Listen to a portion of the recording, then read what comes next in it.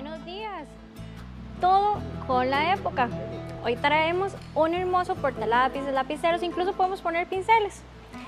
Igual acá montamos el molde y ya ustedes saben en las partes que vamos a hacer eh, líneas, vamos a utilizar regla o pues la paletita. Acá esta ya yo la tengo, las que dividen no las vamos a hacer. Vamos a ir acá, en esta parte sí, para ir marcando a la hora que vamos a cortar los excesos, pues que nos queden bien y no se nos vea mal el trabajo.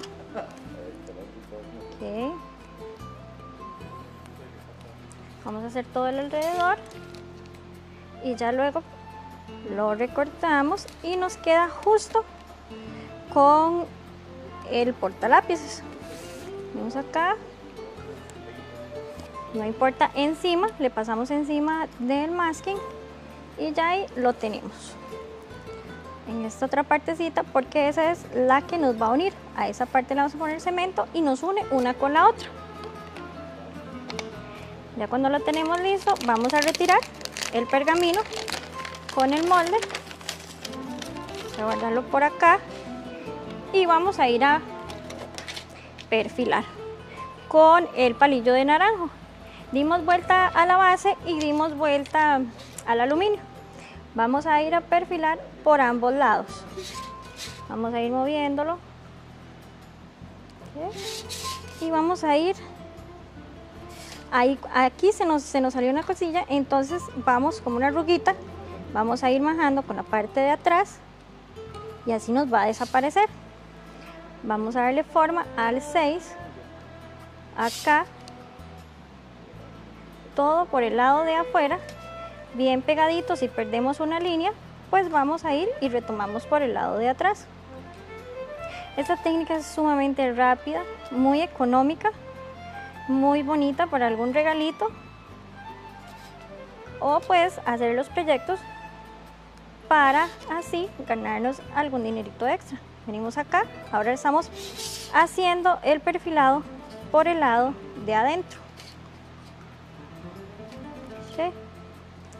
Aquí se me pegó un poquito, vamos a inclinar. Cuando, cuando no podemos pasar, entonces inclinamos el palillo y vea qué fácil. Listo. Sostenemos acá, y nos venimos a terminar ese número 6 por la partecita de adentro. Igual en esta parte.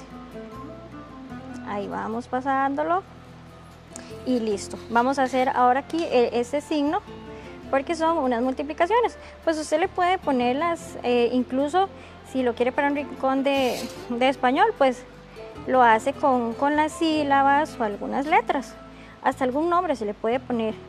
Eso ya es creatividad. Recuerden, nosotros le traemos la idea y usted ya la desarrolla a su gusto y usa su creatividad.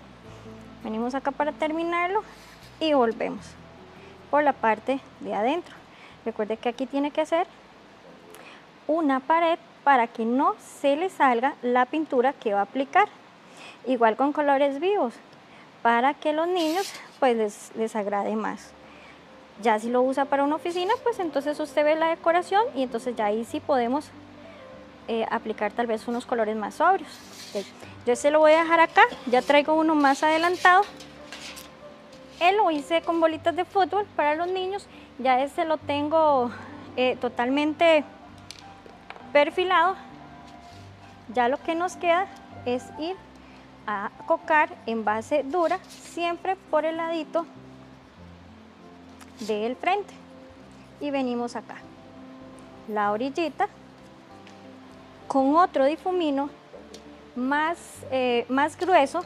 Vamos a ir a cocar todo el alrededor para que ya no nos queden esas partes más levantadas igual acá cada uno de los signos y de los numeritos o las bolitas incluso como el, que está ya acabado, que lo que tiene es eh, la carita de Hello Kitty. Entonces ahí alrededor de todo eso es donde vamos a cocar para ir quitándole todas las arruguillas y que nos, nos quede bien parejo a la hora que ya nosotros lo vamos a montar en la cajita o en el portalápices. Vean acá, tienen rayillas, entonces eso es lo que nosotros tenemos que venir a quitar. Son trabajos rápidos, muy coloridos, súper divertidos. Les recuerdo las clases.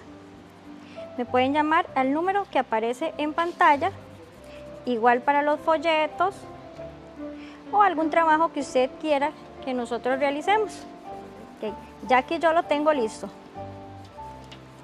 Es hora de, ustedes ven la textura que tiene, tiene una textura que es escobillado. Entonces vamos a tomar y vamos a hacer circulitos. Eso sí lo tienen que hacer antes de pintarlo, porque si no, él bota un polvito. Entonces ese polvito se va a ir a pegar a la pintura y se nos va a arruinar el trabajo.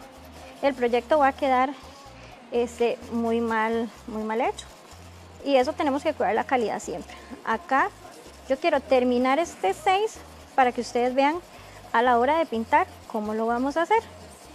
Entonces ya yo le tengo listo alrededor del 6, ya yo puedo trabajar. Lo ideal es hacerlo todo, pero por cuestiones de tiempo, ustedes saben. Entonces vengo y paso, acá retiro el polvito que queda, voy a tomar la pintura y tenemos dos opciones. Lo podemos hacer con un pincel, unos golpecitos, vamos a ir esparciéndola no vamos a dar una pincelada porque no nos va a servir. No es una pintura para eso. Estas pinturas son para vidrio y vamos a ir esparciéndola por todo el número. Vamos a terminar acá. Si ustedes ven que hay una partecita donde no, donde no nos llegó la pintura con el pincel, entonces tomamos el palillo hasta terminar. Yo voy a terminar aquí este trabajito. Sigan ustedes con más de su programa Mujeres del 2000.